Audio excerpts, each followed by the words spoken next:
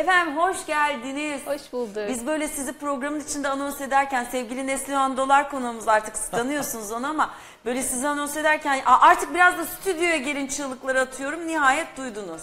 Koşa koşa geldim ben de. Nasılsınız görüşmeyeli? Çok iyiyim, çok teşekkürler. Sizler de çok iyi görünüyorsunuz. Valla biz iyiyiz. Biz didişiyoruz. Bazen soğuk espriler yapıyorum diye de Ama şimdi çok dolar böyle. diyor, Neslihan'a diyor, dolar diyor, yükseldi diyor falan diyor filan. Beni böyle sinirlendiriyor.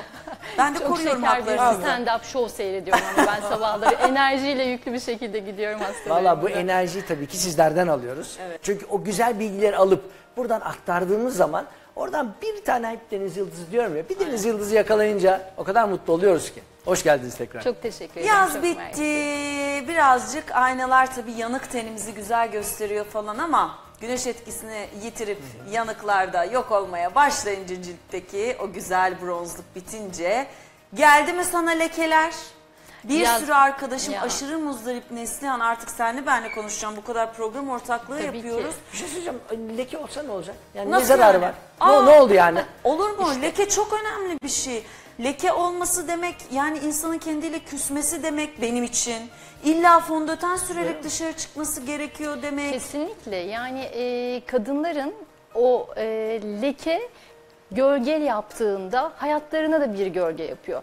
Ben çok ağlayarak gelen hastalarımı bilirim. Özellikle bu bıyık bölgesinde oluşan lekeler e, o kadar rahatsız ediyor ki insanları. Tabii siz belki erkek gözüyle bakıyorsunuz ve e, saçlarımı tarıyorum ya dışarıya çıkıyorum. Elim yüzümü Bak, bak, yıktım. bak. O da yok. Eyvah. Çok diyemiyor tabii. Bak çok bak. Eyvah. Neslihan yanlış sen de sen de yanlış yerden. Saçlarımı tarıyorum dışarı çıkıyorum demeyelim. Çok erkeklere Evet, yüzümü yıkıyorum diyelim bari. Ama Gözlüğümü takıyorum aha kalbim. Gözlüğüm. Şöyle de bir şey var aslında erkek kadın pek çok insanın da problemidir bu leke. Hani leke dediğimiz gözaltı morluğu da bir lekedir aslında. Evet. Bazen insanlar gözaltı morluğunu ayrı tutarlar ama orada da lekelenme olduğu zaman e, morluk gibi görünür. E, lekenin pek çok nedeni vardır. Hani Tamam, peki leke sadece önce şunu- kozmetik bir sorun değildir. Kesinlikle. Peki leke olacak kişiler kimler? Biz biliyor muyuz yani? Sen uzman olarak ya Evet. bunun cildi lekeye daha e, meyilli diye bildiğin bir prototipin var Bir mı? kere ırk olarak biz biraz daha riskli gruptanız. Ha. Beyaz tenlilerde leke meyili daha fazla, buğday tenlilerde daha fazla. Esmer bireyler biraz daha şanslı bu konuda belki. Ee, ama bir de bu bronzlaşma alışkanlığı devam ettiği sürece lekeler giderek artacak.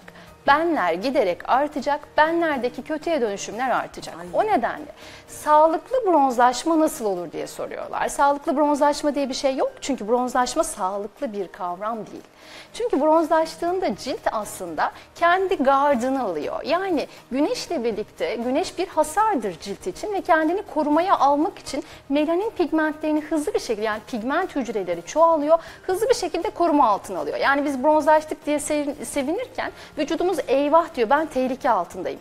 İşte o bronzluk giderken de genetik yatkınlığı olan bireyler. İşte o grup genetik yatkınlığı olan bireyler. Belki siz güneşlenirsiniz. Güneşin etkileri gittikten sonra pırıl pırıl bir ciltte devam edersiniz. Ama diğer bir birey e, güneşlendikten sonra onun lekelenmelerini gözlemler. İşte burada genetik yatkınlık Ama bu- ortaya bu, da çıkıyor. ciddi bir korkuya sebep oluyor. Şimdi bu korku yüzünden de ben biliyorum ki hayatta güneşe çıkmıyorum, çıkmam diyen insanlar var. Ee, ama bunun da güneşin güzel etkileri de var sonuçta. Yani kemikler için Kesinlikle. etkisi var, cilt için. Ben ben çok basit mesela güneşte birkaç kez böyle işte iş yapmak için e, ya güneşin batmasını ya ilk doğuşunu yakalamayı bekliyorum ki gün ortasında çıkmayayım diye. E, bu da beni çok kısıtlamış oluyor. Halbuki biraz güneşe alışınca, biraz da koruyucu sürünce Evet. çok rahat hareket edebiliyorum ve kışında üşümüyorum. Aynen o bir Böyle bir denge şey var. aslında. Hani Evet. evet. vücudumuzun D vitamini sentezlemeye ihtiyacı var kemiklerimiz dediğiniz gibi. Ama bunu vücudumuzun kalın bölgelerinden alabiliyoruz. Yani yarım saat güneşin en yoğun olduğu dönemde de kalabileceksiniz. E, yarım saat boyunca el ayağları, avuç, avuç içleri, ayak tabanları, dirsekler gibi vücudun daha kalın bölgelerini yarım saat güneşe tuttuğunuzda siz o vitamin ihtiyacınızı alıyorsunuz. Yani illaki bunu yüzünüzden almak durumunda Evet. değilsiniz. Eğer bir genetik yatkınlığınız varsa, lekeye meyilli bir zemininiz varsa güneş koruyucunuzu yüzünüze kullanacaksınız.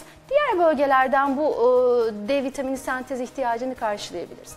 Ama e, yüzdeki leke dediğimizde önemli. Çünkü korumak tedbirimiz çok önemli. Çünkü neden? E, leke dikkat edin önce işte yazın lekelenir ciltler. Eyvah çok kötü oldum denir. Kışın bir miktar geriler. İnsanlar biraz daha mutlu olur. Tekrar yazın koyulaşmaya başlar. Sadece güneş değil elbette ki Tabii. neden?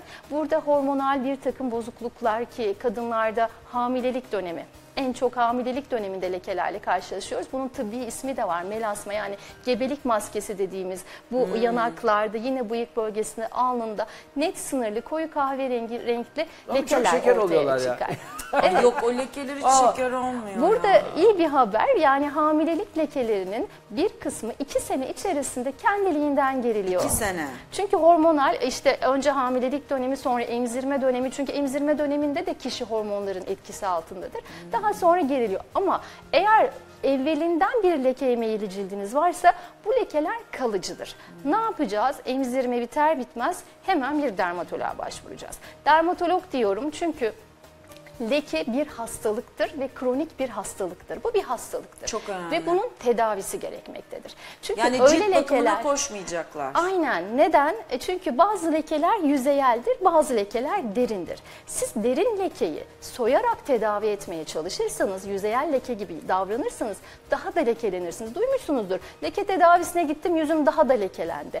Evet, bu doğru bir yaklaşım. Çünkü ben nelerle karşılaşıyorum. Yani hani bana sıfır hiç uğraşılmamış leke geldiğinde ben çok mutlu oluyorum. Yani hani terzinin e, bir şeyi yama yapması gibi bir şeydir aslında bu. E, dolayısıyla leke bir hastalıktır ve bu tedavi edilmesi gerekir. Bakımlarla leke tedavi edilmez. Öncelikle bu leke hangi derinlikte, cildin hangi tabakasına kadar inmiş ona göre çünkü o kadar çok leke tedavi seçeneğimiz var ki bizim. Bir yöntemle bir lekeyi tedavi edemezsiniz. Leke kremleri sadece yüzeyel lekelerde etkilidir. Etkili midir? Evet etkilidir ama çok taze, çok yeni lekelerde etkilidir. Peki ne oluyor şimdi? Lekeli benim var şu anda. Tabii sen bunları söyleyince taşlar yerine oturuyor. Bir doğum sonrası çok cildi lekelenmiş bir arkadaşım var. Ee, bir de böyle zamanla çillerden lekeye dönüşmüş cilt var mesela. Evet, Çili evet. çokken lekeye dönüşmüş bir arkadaşım var.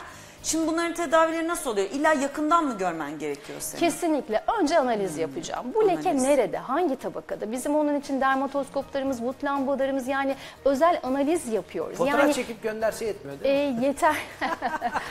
Öyle var. Vallahi öyle. Yani Tabii, şu anda biz e, sosyal medya doktorlarını Uzaktan falan herhalde tedavi, e, destekliyoruz bilmiyorum ama sürekli bir fotoğraf, bir film Desteklemiyoruz ne tabii ki. desteklemiyoruz tabii ki. Aynen. Hayır hayır. Evet. E, halk olarak onlara Evet, daha evet, kolay ulaşmak evet. e, Benim- hoşlarına gidiyor. Evet. Benim ilk asistanlığımda ben Agop Hoca'nın öğrencisiyim. Efsane kolsuz Agop diye bilinen Allah rahmetli. rahmet Evet eylesin. çok yeni Ne vefat etti. Bambaşka bir insandı. Benim de cildimi kurtarmışlığı var. Değil mi? agopun. Herkesin yolu ondan bir geçer. Agop'a bile nur gitti. içinde yatsın. Aynen. Muhteşem bir e, der- dermatolog değil mi? Aynen. Derya Deniz yani Evet, bambaşka Allah bir insandır. Ve onun bize ilk nasihatı şuydu. Kimseyi uzaktan tedavi etmeyin. Telefonda bir kızarıklık, bizim bütün hastalıklarımız kızarıklık zaten ama o kızarıklık mantar mı, egzama mı? Siz mantar sanırsınız, egzama kremi verirsiniz, mantarı alevlendirirsiniz. Özellikle çocukları asla fotoğrafla tedavi etmiyorum. Yakından gördüğünüzde, cildine dokunduğunuzda çünkü sizin cildiniz hassastır. Size vereceğim, önereceğim bir kremle veya ilaçla diğeri çok başkadır. O nedenle uzaktan e, fotoğrafla bu tarz takipleri yapmamayı tercih ediyor Şu kendi anda evet, adıma. e, aslında en güzel bir konuya parmak bastık. İşte hele hele leke dediğimiz zaman bütün lekeler herkes aynıymış zannediyor. Halbuki Bana bir krem söyleyin. var. Hani herkes bir Evet krem. ya. Böyle bir mucizesi krem Ya da yok. şey oluyor ya Yok. mesela bunu da buradan söylemek lazım. Bana yolda çok yapıyorlar bunu. Ceyda Hanım cildiniz Ne çok güzel. Ne kullanıyorsunuz? kullanıyorsunuz? Diyorum ki aynısını mı kullanacağım? Evet diyor. Su diyorum. Bol bol su içiyorum. Yüzümü de suyla yıkıyorum. Saf suyla diyorum. Ama bu şey fark ettirmeyecek. Sadece sağlık katacak sana. Cildinde bir problemin Tabii. varsa doktoruna gideceksin. Tabii cilt tabii. doktoruna. Tabii tabii. Cilt dediğiniz çok bambaşka kaç katmanı var bunun. O nedenle onları yakından görüyorum, değerlendiriyorum. Leke hangi tabakada onu tespit ettikten sonra da tedavilerime başlıyorum. Yani yüzde kaçı stresten oluyor?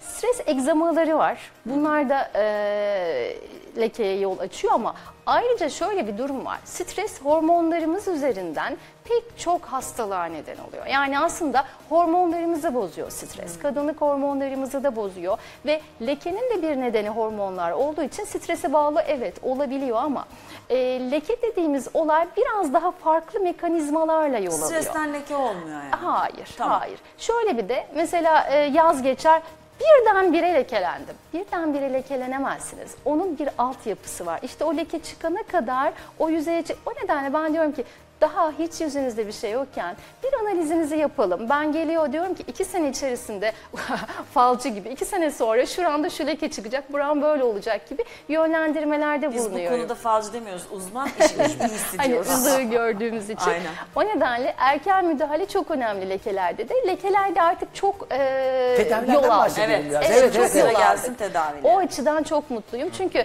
e, ben hep diyorum bir der, hani dermatolog olmasaydım lekeyi hemen bir dermatoloğa gidin diye kenara çekilmeyi çok e, severek e, izlerdim herhalde. Çünkü gerçekten zor bir tedavi. Leke tedavisi. Leke kronik bir hastalıktır. Hani lekenin kesin tedavisi var mıdır? Evet çok güzel tedaviler var ama leke hastalığı bir şeker hastalığı gibidir. O sizde var. Nasıl siz şekeri kaçırdığınızda şekeriniz alevlenir ve biz hemen insülinlerle, haplarla, şeker haplarıyla size müdahale Evet. ederiz ve şekeri kesin deriz. E, leke de böyle bir şey. Güneşi kaçırdığınızda veya cildinizi hasara uğrattığınızda leke tekrar çıkacaktır. Biz hemen onun yine e, baskılanması için müdahalelerde bulunuyoruz. Yeni tedaviler çok kısa süreli tedaviler var. Önceden aylarca, yıllarca uğraşıyorduk. Şimdi çok daha kısa sürede lekeleri tedavi edebiliyoruz. Tilyum denilen bir enerji var. Bu tilyum enerjisi gümüş kadar nadir bulunan bir element ve bu enerjiyi kullanarak ve kombine tedaviyle cildi e, parlatıyoruz. Parlatırken hem lekelerden arındırıyoruz ve kısa seanslarda güzelmiş. bazen bir seansta bile bunu e, elde edebildiğim vakalarım var. E, hem parlatıyoruz hem kırışıklıklar, o matlık, o gözenekli yapı hepsine müdahale edebiliyoruz. Bu ama hani kimlere uygun işte onun kararını cildi gördükten sonra karar veriyoruz. Bunu bir tek başına mı uygulayacağım? Kombinet enzim peelinglerimiz var, kimyasal peeling ama sadece yüzeyel lekelerde. Asla derin lekelerde peeling yapılmaz. E, pek çok lazer sistemlerimiz var. O kadar çok çok çok çok ki işte bunlar arasında o yelpazede en ileri teknolojiyi seçip o kişiye özel leke tedavisi kişiye özeldir. Kişiye özel leke tedavileriyle artık pırıl pırıl ciltlere kavuşabiliyoruz nihayet. Vay be. Evet, ben bir tane e, cerrahi soru sorayım. Buyurun. Geri döner mi bunlar, bu tedaviler? Yani o lekeler bir daha çıkar mı? Şöyle biraz önce dediğim gibi diyabet hastalığı gibi siz onu baskılamadığınız sürece o leke geri gelebilir. Ama bu son teknolojiyle e, biz lekeyi ne kadar tedavi etsek de %60'ı geri geliyordu. Şimdi sadece %30'u geri gelebiliyor. Biz onu da tedavi ediyoruz. Geriye çok minimal düzeyde bir leke kalıyor. Onu da koruduğunda yani güneşten koruduğunda, hasardan koruduğunda başa çıkabiliyoruz. Ayağınıza sağlık. Çok teşekkür ediyoruz teşekkür efendim. ederim, Harika çok bilgiler mersi. Çok paylaşıyorsunuz güzel oldu, evet, gerçekten. Değil mi? Hafta içi de programımıza kattığınız her şeye Canlıymış. Evet. Evet. Harika. Canlı mı diyorsunuz? Yalnız hep banta diyoruz bize Neslihan neler anlattı, Neslihan neler Meğer anlattı. ofiste bekliyormuş değil mi? Evet Öyle ya, kameralar vallahi geliyor. Her zaman bekliyoruz. Böyle bir güzellikle yayın içinde olmak bizi çok, Çok, teşekkür mutlu ediyor. ederim. Çok mersi Teşekkürler. Biz de davetiniz için. devam ediyoruz. Devam edelim o halde. Buyurunuz.